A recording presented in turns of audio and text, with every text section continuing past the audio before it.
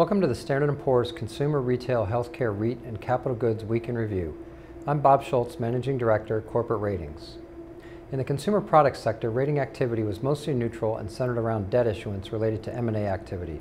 We took one negative action, which was driven by weak operating performance.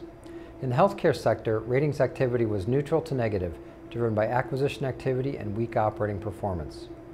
For the retail and REIT sector, rating activity was neutral to positive, off good performance and strategic activity.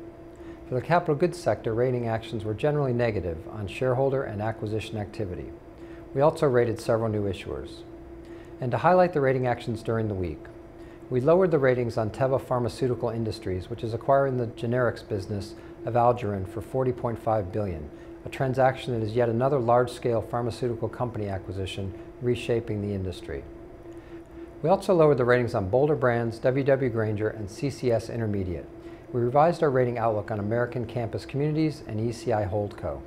Also, we placed our ratings on Allergan and Capella Healthcare on CreditWatch Positive and Mylan on CreditWatch Negative. For more details, please see Standard & Poor's Global Credit Portal. Thanks for watching this update.